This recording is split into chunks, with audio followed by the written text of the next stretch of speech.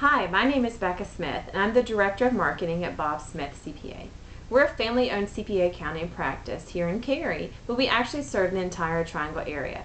That includes Raleigh, Durham, Chapel Hill, Holly Springs, Apex, Fuquay Varina, Garner, Clayton, Willow Springs, and everything in between. If you are an individual and you filed an extension for your personal taxes in April, that return is now due October 15th.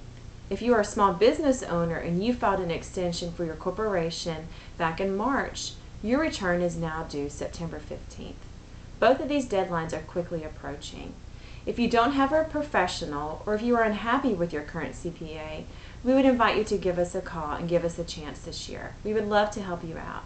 You can find us on the web at bobsmithcpa.com or you can contact us by phone at area code 919 380 0600. Or you can follow me on my marketing blog at beccasblog.com. That's B E C C A S blog.com. Who wants to spend their weekends this fall sitting behind the computer agonizing over completing their tax return when you could be with the family watching football or hanging out at the tailgate and having a great time?